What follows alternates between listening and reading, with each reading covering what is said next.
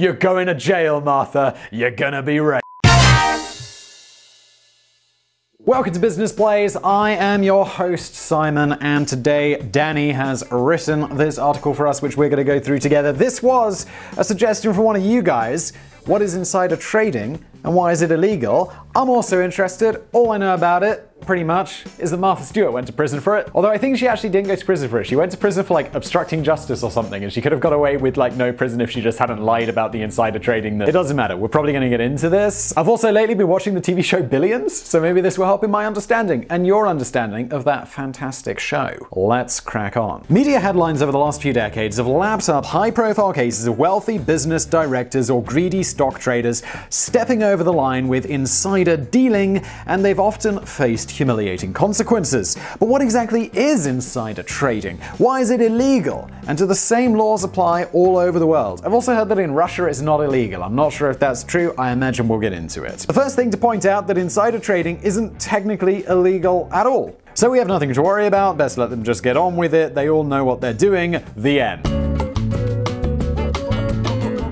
definitely not the end. Well, okay, but we should maybe probe the topic a little more deeply than that. It's easy to imagine insider traders as a group of shady people sneaking around the New York Stock Exchange in sunglasses and fake beards making suspicious transactions under the veil of a criminal shadow. It's not really how I imagine them. I just imagine them like Martha Stewart, like people who just get caught up in something. Or uh, now like Bobby Axelrod from Billions. But insider trading isn't just insiders buying or selling stock in their own company. The definition of insider insider can vary slightly from country to country, but it ultimately boils down to the same thing a fairly big cheese within the company. A director, CEO, high level executive, or even somebody who just owns more than 10% of the firm's equity. Oh wow, so if you've got like 10% of a public company just because you're rich and you really put a lot of money into it but have nothing else to do with the company, you can still be an insider trader even if you don't have inside information. Whatever their rank or status, the thing that binds all of these insiders together is that they have access to potentially valuable information about the company which has not been made available to the public. But despite a widespread misconception that all insider trading is criminal activity, most insider trading is perfectly legal and it goes on all the time without anybody getting thrown in jail. You'll often hear of CEOs selling or buying back shares in their own company or employees dealing in shares in the company where they work, and all of that is perfectly fine. The US are a little stricter than the rest of the world in that every single insider transaction has to be filed with the US Securities and Exchange Commission so so that they can keep close tabs on what they're up to. But aside from that, every insider is perfectly entitled to make legal trades in their own business. And I, I didn't realize that was the case. I thought that if you work for a company, you couldn't have shares in it or something like that because, you know, you have unfair information. But and but that's the point. If you don't have unfair information, that the other people don't have, you seem to be fine. So you can trade in your own business. However, all of this is obviously not legal advice or anything like this. It's entertainment, guys. However, there is, of course, a darker side to insider trading. And in a burst of fizzy creativity, I'm going to call this illegal insider trading. On the surface, illegal insider trading is remarkably similar to legal insider trading, but with one big, potentially cell door slamming difference. The trader, and this is in bold, thanks for making it clear clear, Danny, the trader is using non-public knowledge to their advantage. Interesting thing about insider trading is that you don't even have to be an insider to be found guilty of a criminal offense. In fact, you can be anyone at all. So let's imagine that Danny, Danny is the CEO of Danny's novelty trundle wheels. For a while now, the stock market has been rife with speculation that the corporate giant Whistler's Manic Measuring Devices has been looking to make a substantial investment in Danny's business. And the share price of Danny's business has been rising because people are excited about the takeover. On Wednesday, Danny is privately informed via carrier pigeon that Whistler's Manic Measuring Devices have decided not to invest at all. Danny, I'd invest in you, but for the sake of this example, I'm not. They've gone with Benny's Bubble Inclinometers? instead. With a heavy heart, Danny makes plans to issue a press release on Friday, knowing that the share price is almost certainly going to take a massive nosedive as a result of this press release. If Danny now decides to sell a big stack of shares in his company on Thursday, one day before the news becomes public, Danny is guilty of illegal insider trading. The reasoning being that he'd have an unfair advantage over the other investors because of the inside knowledge. And this makes sense. I see why that is the case because it's like then the other investors who don't have that information lose out. However, if Danny waits until after the press release before he offloads his shares, this would be perfectly legal as he wouldn't be perceived to have any advantage over the general public. Okay, now let's imagine that on Thursday, Danny has a lunchtime drink with his good friend Barry. Barry doesn't have any interest in the stock market or business in general, but Danny advises him to buy shares in his company, and it's been a fairly good investment so far. This has worked out well for Danny as well because Barry then usually buys all the drinks because he's so grateful. On Thursday, Danny says to Barry that he's been having a tough week because Whistler's Manic measuring devices has pulled out of that investment deal like we talked about before. Later that day, Barry goes and sells all of his shares in Danny's company based on this information and it's gone. And even though Barry's just this ordinary dude with very limited experience in trading shares, he would potentially face a prison sentence for being an insider trader because he was purposefully acting on information that hadn't been made public. The secret information that Danny had about my Whistler's company not uh, investing in his. Naturally, the strength of the laws and the level of monitoring and enforcement varies from country to country, but not as much as you might think. The UK and particularly the US have always led the way with tight regulations on illegal trading, whereas other countries such as Japan and Russia are only just beginning to catch up. Okay, so Russia's making efforts. I thought it was like totally legal there. I was like, how does business work in Russia if you could just trade on inside information? Actually, I imagine it just makes oligarchs really rich. But the crucial thing to bear in mind is that your own country's laws aren't really important. It's not about your location, it's about the location of the stock exchange that you're using to make your investment. So you may well live in Timbuktu, where local insider trading laws are likely to be very lax, but as soon as you invest on the US stock market, then you're bound by stricter US regulations and law. The biggest stock exchanges in the world are all in countries which have laws in place to prevent illegal trading, and regardless of your own location, those laws are the ones you need to note when making a trade.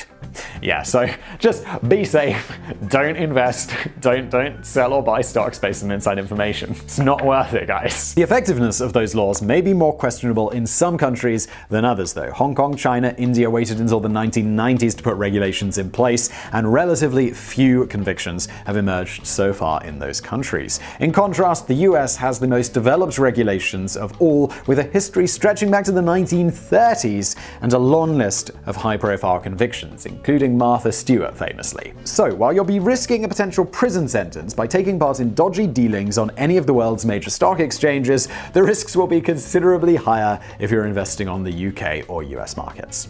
In fact, there was a very specific reason why the US led the way by several decades in laws against insider trading, and this was the 1929 Wall Street crash.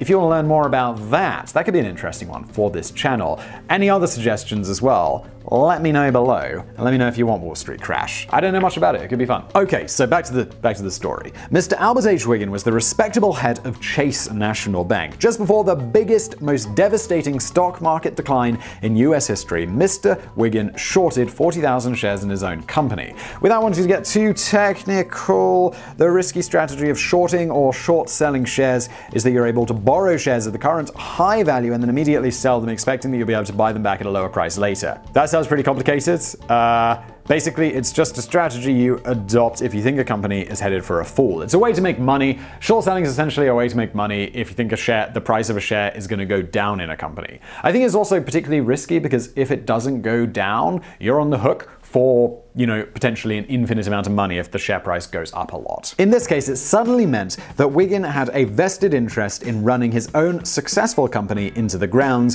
which is exactly what he did.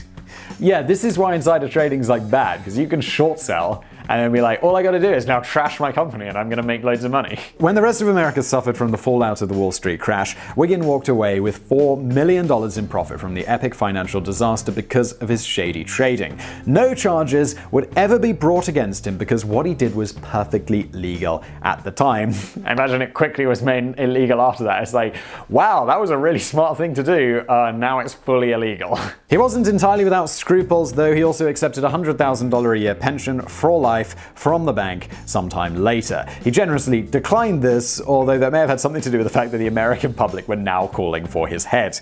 Dealings such as this led to the development of America's first laws on insider trading in the 1930s, which became ever tighter as the decades rolled on. Fast forward to 2004, and the Martha Stewart case became possibly the most famous example of a high profile insider trading conviction. Martha Stewart was already a household name at this point, having carved out a hugely successful career as a model, businesswoman, TV personality, and writer. Sadly, any recent biography of Martha Stewart now has to include the words convicted felon alongside those career highlights. I was reading Martha Stewart's Wikipedia page before I got started with this, and it is like, you know, model, businesswoman, convicted felon. It's like, what did she do? Like murder? Rape? No, just insider trading. Felon sounds way more serious, but I think that just means you committed a federal crime, right? Which is one like at a national level rather than a state level. Americans, if I'm wrong on that, hit me up in the comments below. Martha Stewart held close to 4,000 shares in a biopharmaceutical company called ImClone Systems, who had developed a drug for cancer treatments called ImClone Systems had been waiting for a decision from the Food and Drug Administration to approve their drug. When the company was finally notified that the drug had been rejected, the company's CEO, Samuel Waksal, decided to advise many of his close friends to quickly sell their shares in ImClone before the information went public and the share price took a tumble. Oh man, this is definitely illegal, right? This has got to be illegal. This guy's going to jail or something. But it's got to be hard. You're like, oh god, all my friends have invested in my company and they're all going to lose so much money and you can't tell them. Woo, tough decisions. Not so tough decisions because, you know, like losing some friends, going to prison. One of these friends was Peter Bacanovic, who just happened to be Martha Stewart's broker. Bacanovic passed on this non public information to Martha, who then decided to sell her 4,000 shares before this news was officially released. And I guess she must have known that it was inside information, because surely if her broker could say, like, I'm going to sell these shares, and she'd be like, Okay. But I guess she knew that it was based on inside information. When the news on the FDA's rejection of the drug finally became public, the ImClone share value plummeted by 16%, and it was estimated that at the time Martha avoided a loss of around $45,000. Good for Martha. Although, no, not so good for Martha or anyone else involved in the scandal. ImClone CEO Samuel Waksal was fined $4 million. That's not so bad. I mean, I'm sure he's super rich, and then at least he doesn't get to go to jail. Uh, oh. oh man, and sentenced to over seven years in prison for his part in the conspiracy. The broker Peter Bacanovic was eventually sentenced to five months in prison for lying to investigators about suspicious stock sales. Meanwhile, Martha Stewart, who arguably was just acting on advice of her broker, yeah, that's what I kind of feel. It's like if I didn't have a broker because I just invest in index funds because I don't think brokers really do anything. If I had a broker and he phoned me up and was like, yo, Simon, you got to sell your shares in this thing, I'd be like, okay, Jeff, you know what you're doing. you're my broker. You're the man who's supposed to do all this for me. Why are you asking me? And then it'd probably be like, because I need your permission to break the law. And then I'd be like, don't do that, Jeff. Jesus. She served five months in prison not for insider trading, but for criminal obstruction and providing false information. So essentially, she was like she was like lying to the FBI. That was a mistake. In other words, she might have got away with a smaller penalty if she'd just been a bit more honest about the whole thing. Things went from bad to worse for Martha in prison. Despite building a business empire on homemaking and decoration, she had to endure the humiliation of losing the prison's annual decorating contest. Um.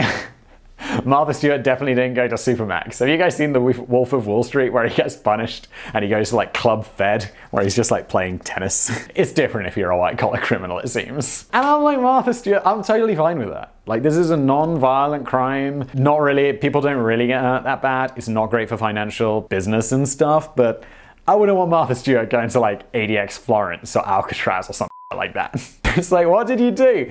Uh, my broker told me to buy this shares. You're going to jail, Martha. You're gonna be raped. But the real sting in the tail, if she'd actually just been a little more patient and waited for ImClone's share price to rise again, she would have actually made an overall profit of $30,000 instead of serving five months in prison alongside a $30,000 fine. It turns out crime not only doesn't pay, it sometimes costs a bloody fortune. This is what I'm talking about. Like, I you assume Martha Stewart's broker's gotta be good, right? Martha, she's Martha Stewart. She's worth hundreds of millions of dollars. She's got a good broker. And he still, like, you can't beat the market. They, they don't beat the market.